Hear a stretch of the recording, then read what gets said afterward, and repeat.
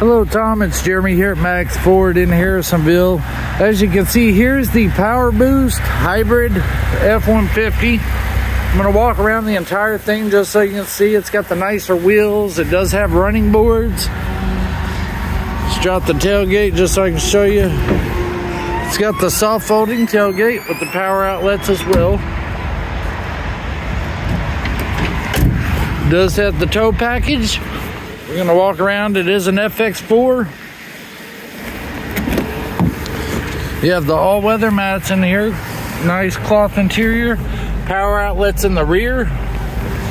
Let's look up front real quick. You've got the surround view cameras, blind spot monitoring, an additional power outlet with the wireless phone charger. Does have heated seats, trailer brake, pro trailer mode. This thing should have navigation, just about everything. I believe the miles on it are only 64 miles. It does have the rear sliding back window as well.